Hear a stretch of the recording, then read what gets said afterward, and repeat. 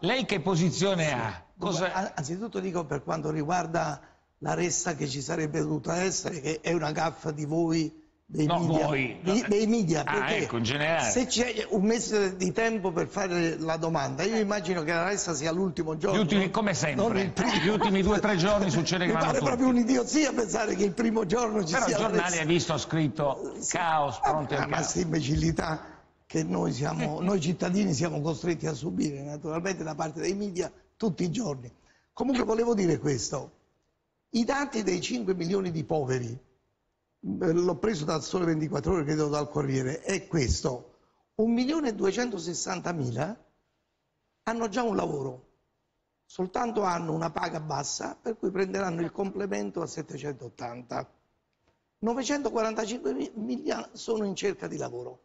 Questi sono gli unici in cerca di lavoro. Poi c'è circa un milione inferiori ai 14 anni, quindi non è un problema di lavoro, è un problema di poveri minorenni che hanno diritto a mangiare.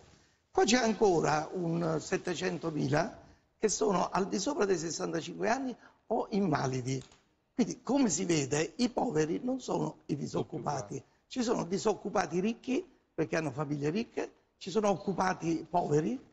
L'unica cosa che eh, unisce tutti i poveri è che non hanno tempo.